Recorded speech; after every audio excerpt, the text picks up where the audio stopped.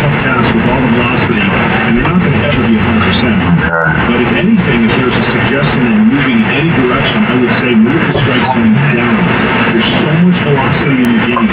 Hitters are having a hard time already making enough contact with the other end that pitch up. And so when you think about the strike zone,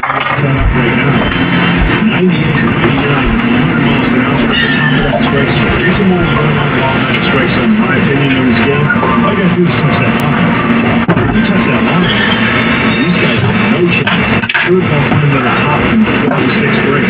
So even though you have technology can see is or not in a strike zone, it would be, for me, the velocity the game, to see that strike zone go down a little bit and give both parties an opportunity to be successful.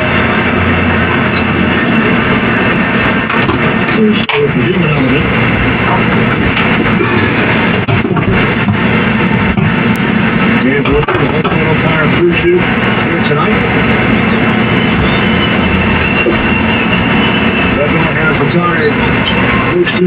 two batters